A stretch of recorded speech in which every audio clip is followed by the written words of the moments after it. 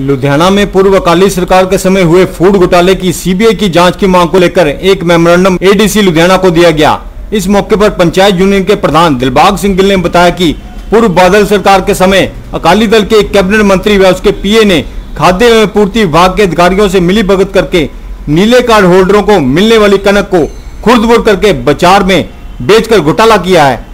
जिसकी विजिलेंस जाँच के बाद गेहूँ की बरामदगी व डिपो भी कैंसिल किए गए। लेकिन अभी तक आरोपियों के खिलाफ कोई कार्रवाई नहीं हुई है ਹੋਲਡਰਾਂ ਦਾ ਮਾਮਲਾ ਸੀਗਾ 2014 ਤੇ 15 ਦੇ ਵਿੱਚ ਜਿਹੜੀ ਨੀਲੇ ਕਾਰਡਾਂ ਵਾਲੀ ਕਣਕ ਮਿਲਦੀ ਆ ਇਹ ਸਾਡੇ ਏਰੀਏ 'ਚ ਕਿਸੇ ਬੰਦੇ ਨੂੰ ਨਹੀਂ ਮਿਲੀ ਇਹ ਕਣਕ ਸਾਡੇ ਪਿੰਡ ਆਈ ਵੀ ਅਸੀਂ 15 4 2015 ਨੂੰ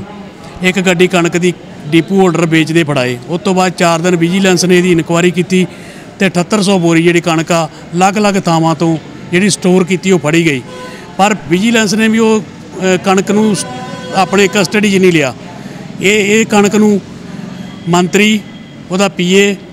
ਤੇ ਇੱਕ ਜਥੇਦਾਰ ਆ, ਡੀਪੂ ਹੋਲਡਰ ਤੇ ਜਿਹੜੇ ਫੂਡ ਸਪਲਾਈ ਦੇ ਅਫਸਰ ਨੇ, ਇਹਨਾਂ ਨੇ ਰਲ ਕੇ ਉਹ ਕਾਲਾ ਬਾਜ਼ਾਰੀ 'ਚ ਵੇਚ ਲਈ, ਜਿਹਦਾ ਕਿ ਅਸੀਂ ਆਰਟੀਆਈ 'ਚ ਰਿਕਾਰਡ ਮੰਗਿਆ। 2 ਸਾਲ ਹੋ ਗਏ ਸਾਨੂੰ ਇਹਦੇ ਪਿੱਛੇ ਫਿਰਦਿਆਂ ਨੂੰ, ਨਾ ਤੇ ਫੂਡ ਸਪਲਾਈ ਕੋਲੇ ਕੋਈ ਇਹਦਾ ਰਿਕਾਰਡ ਆ, ਨਾ ਆਈ ਦਾ ਪਤਾ, ਨਾ ਗਈ ਦਾ ਪਤਾ।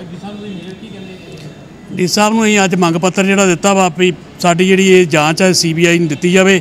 ਇਹ ਮੰਤਰੀ ਦੀ ਕਾਲ ਡਿਟੇਲ ਕਢਾਈ ਜਾਵੇ, ਇਹਦੇ ਪੀਏ ਦੀ ਕਾਲ ਡਿਟੇਲ ਕਢਾ ਕੇ ਨਾਲ ਇਹਨੂੰ ਮੈਚ ਕੀਤਾ ਜਾਵੇ, ਕਿ ਇਹਦਾ ਵਿਜੀਲੈਂਸ ਦੇ ਨਾਲ, ਫੂਡ ਸਪਲਾਈ ਦੇ ਨਾਲ ਤੇ ਡੀਪੂ ਹੋਲਡਰਾਂ ਨਾਲ ਕੀ ਲੈਣ ਦੇਣਾ। ਜਾਗਤੀ ਲਾਈਵ ਕੇ ਲਈ ਲੁਧਿਆਣਾ ਸੇ ਕੁਲਬੀਰ ਰਾਹੀ ਕੀ ਰਿਪੋਰਟ।